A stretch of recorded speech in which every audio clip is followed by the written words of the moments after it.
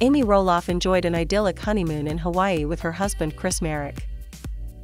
The Little People star, 57, who missed her grandson Radley's birth spent quality time with her partner, 59, snorkeling, sunbathing, and drinking cocktails.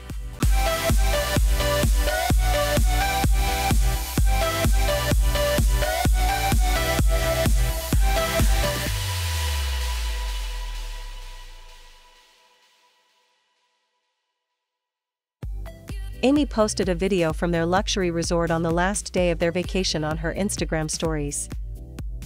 With palm trees and a sunset in the background, she told fans, Well, here it is our last day in Hawaii.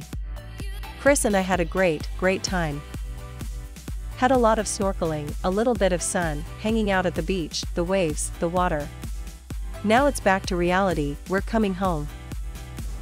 Well, here it is, our last day in Hawaii. Chris and I had a great, great time.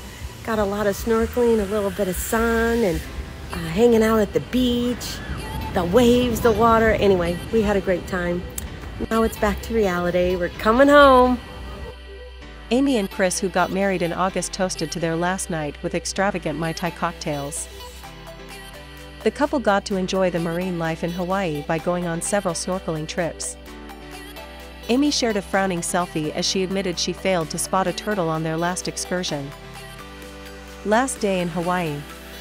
Had to get in one more snorkeling adventure, but I didn't get to see a turtle, the reality star wrote. She added, Guess who did? Chris. At least one of us did. Although she enjoyed a stunning tropical vacation, Amy did end up missing the birth of her son Jeremy's third child, Radley Knight, last week. However, Amy revealed she'd be heading straight over to meet her grandson when they returned to the US. After Jeremy's wife Audrey shared a slew of sweet photos of newborn Radley, Amy commented, I can't wait to meet him when I get back from Hawaii. I'm coming on over Wednesday. Meet baby Radley. Audrey and Jeremy were candid with fans about Radley's arrival, sharing intimate photos of Audrey giving birth in the bathtub. She shared a sweet photo of herself as she cradled the newborn while sitting inside the tub. Jeremy, 31, cradled his wife's face as she smiled up at him. Audrey captioned the post, Can't wait to share his birth story with you guys. Audrey and Jeremy are also parents to four year old daughter, Ember, and two year old son, Bode.